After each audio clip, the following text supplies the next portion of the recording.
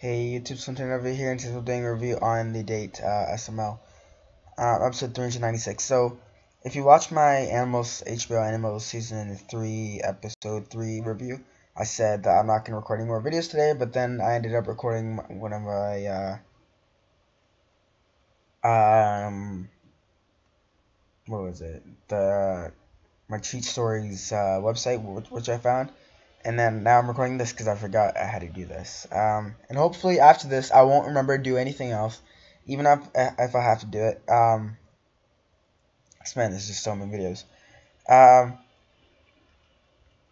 uh, okay, well, let's get into it. The date. The, the bloopers were really funny, and I actually like this one. This one came out um, August 18, 2018. Today is August 21st. Uh, characters Mario, Jeffy, uh, non-speaking cameo. Did he? Was he in it? I don't remember. Brooklyn T Guy, Sparkle, Chef PP, Sharon mentioned, Shrek mentioned, Black Yoshi mentioned, Woody mentioned, Rosalina mentioned. I don't remember them all mentioned except for Rosalina. Um, and Chef PP, I don't know why he's acting like like a homo and everything like that. Uh, this is the third Prince Jeffy in a row, but he does not speak. Uh, the word B word is censored in this video. It is unknown why, as as the more offensive F is uncensored, uncensored at the end of the video. This Brooklyn T guys, this is Brooklyn T guy's eighth appearance in a row.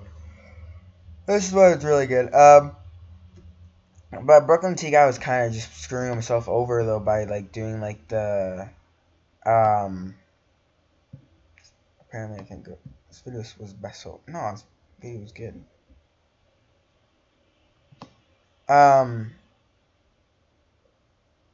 what was I saying? Yeah, he's screwing himself over by like saying like diamond stuff and the elevator and stuff like that. Uh, but Mario should have said, "Oh, sorry, the elevator is broken," or uh, "You broke the diamond, the diamond thing uh, by raging, uh, raging when your wife died." Uh, he should have he should have came up with stuff like that, or and like with the sprinkles and stuff like that. Sorry, John. Uh, he should have said like, "Oh, we ran out of sprinkles and stuff like that."